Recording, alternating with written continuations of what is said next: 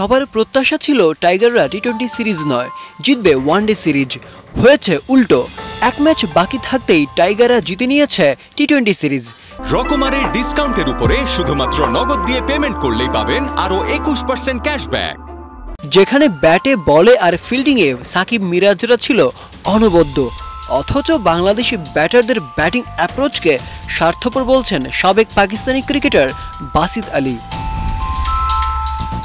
টাইগারদের খোঁচা দিতে গিয়ে তিনি ব্যবহার করেছেন উসমান খাজার নাম। যে উসমান খাজা আছেন ফর্মের তুঙ্গে। আহমেদাবাদে ভারতের বিপক্ষে চতুর্থ টেস্টের প্রথম ইনিংসে উসমান খেলেছেন একশো আশি রানের এক ঝকঝকে ইনিংস। তবে তার ব্যাটিং একেবারেই পছন্দ হয়নি বাসিত আলীর।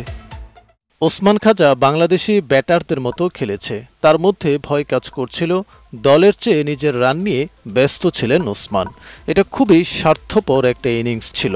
তার ব্যাটিং অ্যাপ্রোচ ছিল খুবই দৃষ্টিকটু। বাসিত আলী হয়তো ভুলে গেছেন সেই দু হাজার পনেরো সালের ওয়ানডে সিরিজ, যেখানে তিনি শূন্য ব্যবধানে হেরেছিল পাকিস্তান।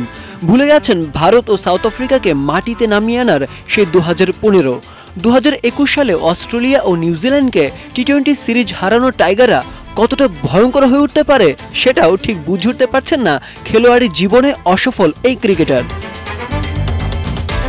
টাইগারদের খাটো করেই ক্ষান্ত হননি এই পাকিস্তানি।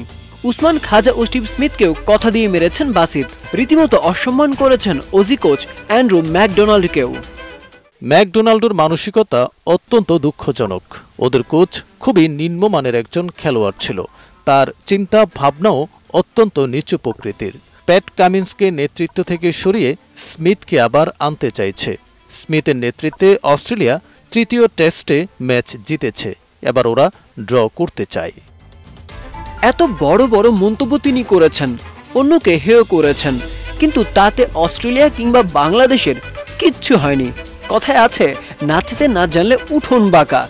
নিজের ক্যারিয়ারে ছিলেন অসফল, অথচ বলে ফেলেছেন উসমান খাজা ও স্টিভ স্মিথের মতো বিশ্বমানের ক্রিকেটারদেরকে নিয়ে।